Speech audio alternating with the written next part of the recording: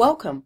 This quick tip will cover how to restrict file types when students submit for online Canvas assignments.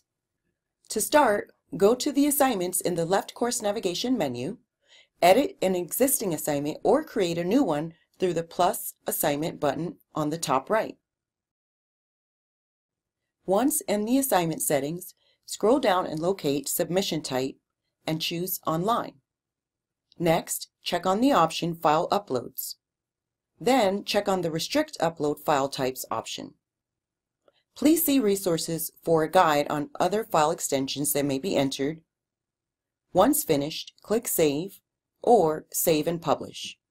When a student attempts an assignment submission, Canvas will make sure only the acceptable file types process. The student receives a warning and the file type will not be submitted for that assignment. You've just learned how to restrict file type submissions for a Canvas online assignment. Please check out our other videos for more quick tips.